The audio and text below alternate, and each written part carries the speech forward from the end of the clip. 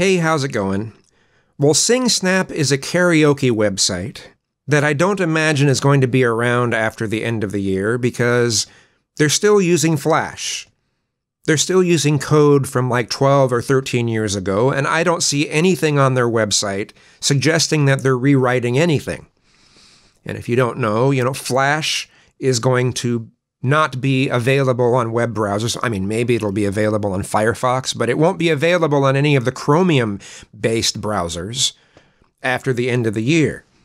So, I mean, if they're not going to rewrite the code, uh, yeah, no one's going to be able to do shit on that website after the end of the year. So, earlier tonight, I got an email from SingSnap telling me that basically, unless I get gold membership, all of my content is going to be completely permanently removed from the website in 10 days because most of it was automatically moved to the trash because I'm not a gold member. So I'm like, all right, I'll pay for your uh, $13 uh, you know, a month, but I'll cancel it later.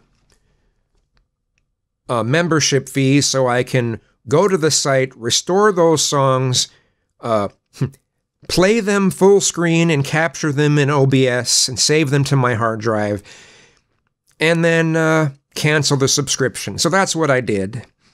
I uh, it's a total of six songs. I had eleven songs up there total, but but the first ones were from like 2007 or something like that, and the recordings were terrible.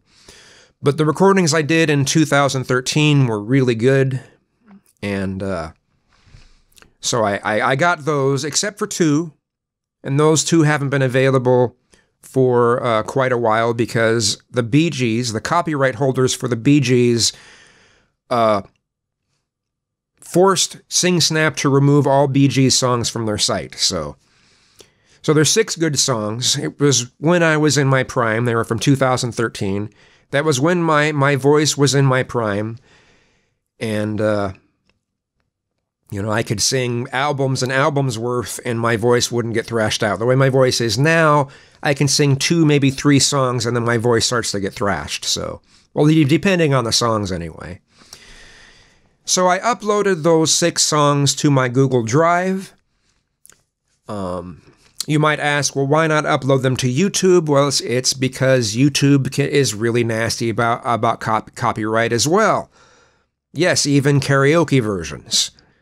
Hell, even cover versions they can get nasty about. So hopefully there won't be a problem with them being on Google Drive. But that's where I have them. And uh, so, yeah, SingSnap is. I can't imagine they're going to be around after the end of the year. I think they did this whole gold thing and forced people to do this just so they could make a little bit of money before they have to close down the site. That's that's what I imagine. And maybe I'm wrong. Maybe they actually are planning on rewriting code, but I seriously doubt it. Anyway, if you want to hear these songs, uh, check the link in the description bar. Thanks.